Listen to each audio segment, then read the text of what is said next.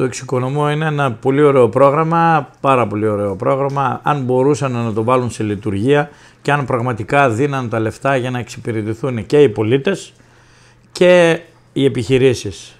Ε, εγώ είμαι ιδιοκτήτης της επιχείρησης και την πορική.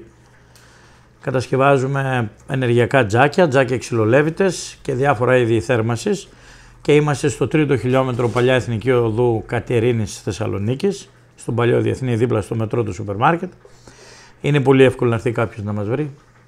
Τώρα, όσον αφορά το εξοικονομό, είναι ένα πρόγραμμα, μια και η ερώτηση είναι πολύ σημαντική και είναι επίκαιρη, είναι το σημερινή. Είναι ένα πρόγραμμα το οποίο το φτιάξανε για μένα προσωπικά για να μην δώσουν στον κόσμο λεφτά. Αυτό το πρόγραμμα φτιάχτηκε όχι για να μπορέσει να εξυπηρετήσει κάποιες ελληνικές επιχειρήσεις, αλλά φτιάχτηκε για να μπορέσουν να εξυπηρετηθούν κάποιες επιχειρήσεις του εξωτερικού. Γιατί το λέω αυτό; Το λέω αυτό γιατί παρόλα τα λεφτά που θα δώσουν, γιατί σε κάποιους κάποια χρήματα θα δώσουν. Ε, δεν περιορίζουν και δεν υποχρεώνουν τον Έλληνα καταναλωτή να πάρει προϊόντα μόνο από την Ελλάδα. Είναι ελεύθερος να πάρει από όπου θέλει. Και έτσι μπορεί να βγει ας πούμε η Α κατασκευαστική εταιρεία και να πει ότι εγώ είμαι μηχανικός, είμαι τεχνικός, μπορώ να αναλάβω να σου διεκπαιρεώσω όλο το φάκελο και ταυτόχρονα να σου προμηθέψω και τη μόνωση του σπιτιού και τα αλουμίνια πόρτες παράθυρα και το τζάκι που χρειάζεσαι για τη θέρμασή σου. Ε, αυτό δίνει το δικαίωμα στον ε, μηχανικό, αν του πεις το ναι, δίνει το δικαίωμα σε αυτό το μηχανικό, σε αυτή την εταιρεία τέλος πάντων, να φέρει από όπου βρει υλικά που μπορεί να έχουν το ΣΥΕ, το βάση ευρωπαϊκού κανονισμού, όμως τα λεφτά δυστυχώς ή ευτυχώς δεν θα μείνουν εδώ. Άρα λοιπόν το πρόγραμμα δεν γίνεται για μας. Αν γινόταν για μας το πρόγραμμα, θα έπρεπε να πούνε: Ελάτε εδώ, ελληνικές οικογένειες, πόσοι πήρανε, ας πούμε, τζάκι, πήρανε 10.000 φέτος, 20.000 φέτος, όσοι και να πήραν. Λοιπόν, εμείς επιδοτούμε ένα αλφα ποσό για όσους αγοράσαν μέσα στο 18 ή μέσα στο 17 ή για όσους θέλουν μέσα στο 18, ας πούμε, για παράδειγμα, να αυξήσουν την, ε, την ε, απόδοση όσον αφορά τη θέρμανση του σπιτιού τους. Αυτό δεν το βλέπω να γίνεται. Έχουν βάλει 100 διαφορετικές δικλείδες για να μην μπορεί να πάρει ο κόσμος τελικά τα λεφτά. Δυστυχώς ή ευτυχώς είναι ένα πρόγραμμα που θα μείνει στα χαρτιά και κάποιες οικογένειες όντως μπορεί να πάρουν. Ήδη την πρώτη μέρα που ξεκίνησε το πρόγραμμα έμαθα ότι γίνανε ένα εκατομμύριο αιτήσεις όταν αυτοί λένε ότι θα δώσουν σε 20.000 κόσμο. Σιγά μην δώσουν 20.000 κόσμο λεφτά. Αυτό για την αγορά τι σημαίνει; Για σας, Αυτό για την αγορά είναι, είναι πραγματικά μας δώσαν το κυδιόχαρτο για να κλείσουμε τις επιχειρήσεις μας. Και όχι μόνο εμείς, όλες όλες οι επιχειρήσεις που, αφορούν, που αφορούν το σπίτι, τη μόνος, τη θέρμαση, πόρτες παράθυρα, σπίτια, τζάκια κτλ. Όπως είπα προηγουμένως. Γιατί το λέτε αυτό; Γιατί το λέω, Γιατί από τη στιγμή που ανακοινώσαν ότι θα γίνει το πρόγραμμα, θα γίνει, προσέξτε, δεν είπανε ξεκίνησε το πρόγραμμα και ελάτε εδώ να το δείτε. Θα το κάνουν. Σταμάτησαν όλοι να ψωνίζουν. Σταμάτησαν όλοι, νεκρώσαν οι παραγγελίες και περιμένουν όλοι πότε θα μπει σε λειτουργία το πρόγραμμα, πότε θα ξεκινήσει να λειτουργεί το πρόγραμμα για να δώσουν τα λεφτά. Για να πάρουν μετά τα, τη θέρμαση, το, το τζάκι τους ο καθένας ή τον ξυλολέβητα που θέλει να βάλει για το σπίτι. Αυτό έχει σαν αποτέλεσμα να μην κινείται η επιχείρηση. Ε, κα, καμία επιχείρηση. Δεν θα κινηθώ εγώ, θα αναγκαστώ να πουλήσω προσωπικό. Το προσωπικό δεν θα μπορεί να πάει στο σούπερ μάρκετ, το σούπερ μάρκετ θα πουλήσει τους εργάτες. Βασικά είμαστε μία λυσίδα. Μπορεί να φαίνεται μικρό το ποσό, αλλά θα ήθελα να σα πω το εξής. Άκουσα ότι το κράτος δίνει 7.000 ευρώ για την ε, προμήθεια τζακιού, ας πούμε για παράδειγμα, ή θέρμασης. Πολύ ωραία. Εάν σε μένα έρθουν 20 οικογένειες, 20 σπίτια να το πω έτσι απλά και θελήσουν να βάλουν τζάκι, σημαίνει με 7.000 140.000 ευρώ.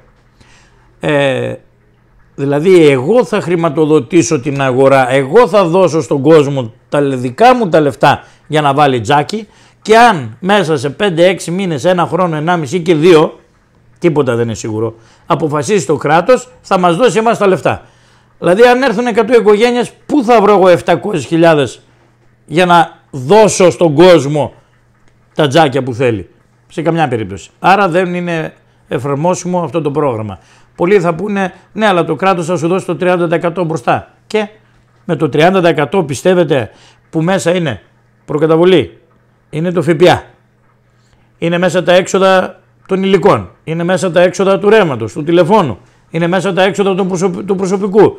Είναι δυνατόν δηλαδή με, 2, με 3, 7, 21, με 2% που θέλουν να δώσουν προκαταβολή να μπορέσω εγώ να καλύψω ε, ένα τζάκι, ένα σπίτι μάλλον, αποκλείεται. Πόσο είναι το κέρδος σας από ένα τζάκι; Αν ήταν 100% το κέρδος, δηλαδή αν στα 7.000 ευρώ εγώ έβγαζα 3.500 χιλιάρικα, ευχαρίστως θα το έκανα και θα το χρηματοδοτούσα.